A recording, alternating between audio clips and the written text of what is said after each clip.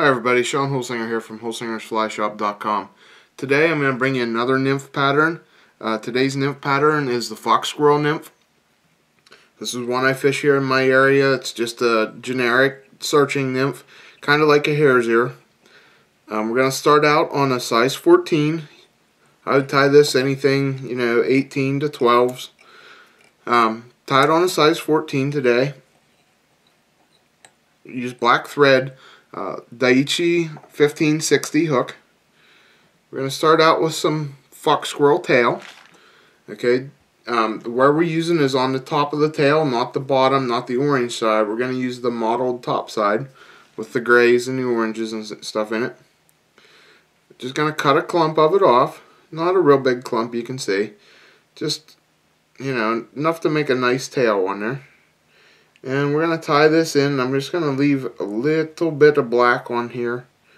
You'll see it here in a second. Uh, it's a little bit long. I'm going to shorten it up just a hair. There we go. And we're going to tie it back to the bend.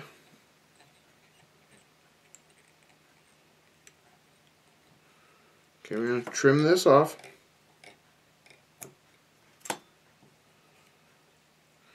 Next thing I'm going to put on it is rib, ribbing. Um, just going to use some gold ultra wire, size brassy.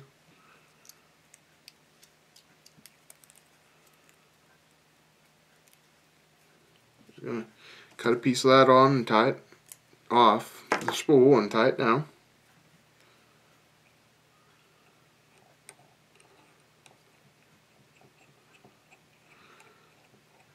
Okay, now the next thing I'm going to use is fox squirrel dubbing.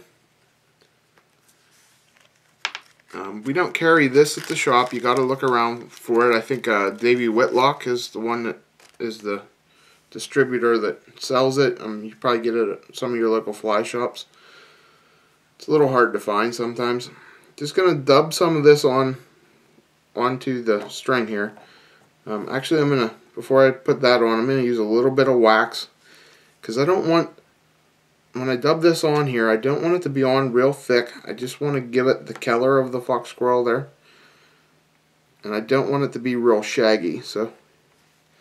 Um, with the fo the fox squirrel dubbing has lots of guard hair in it. And we're going to use that to our advantage here in a second. But right now I want it pretty tight on there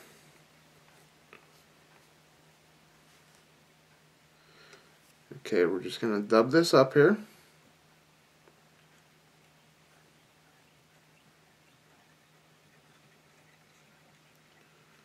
Okay, you can see it has like almost like a hare's ear color to it.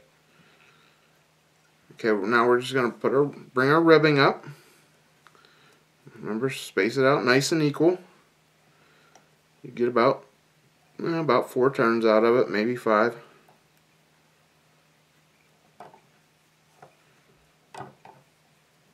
Okay, and we're going to bring it up here and wrap it off.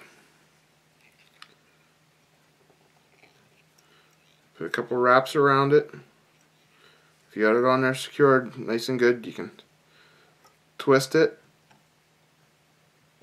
helicopter it, and it'll pop right off.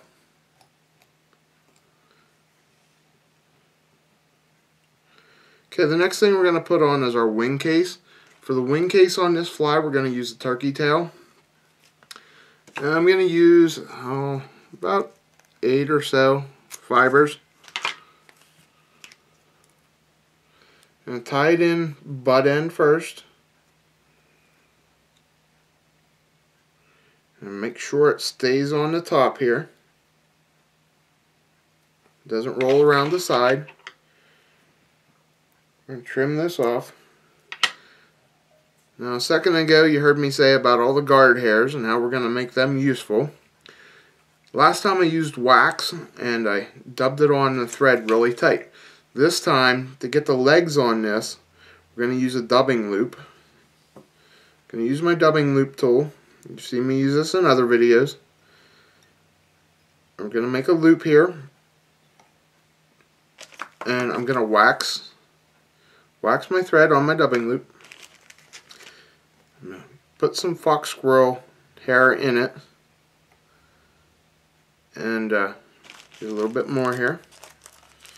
When I make this dubbing loop, what's going to ha happen, those guard hairs are really going to pop out. And they're going to stand up and they're going to end up being like the legs on this fly. And that's why I like using the fox squirrel. Ever like doing hare's ear pattern. Okay, we're going to twist our dubbing loop.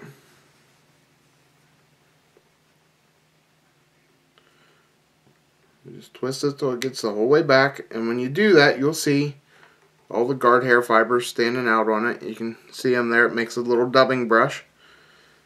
Okay, we're just going to dub this on.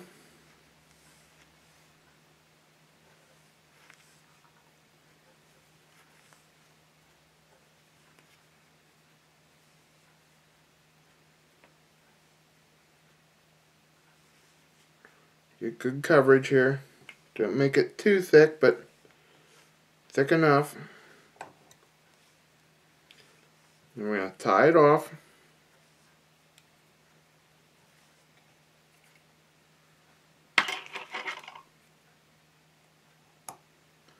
Okay, then we're going to pull our wing case over.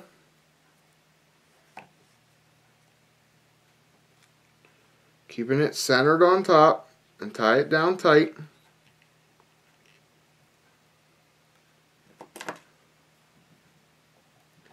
We're just going to cut the wing case off and come in and throw a wet finish on there.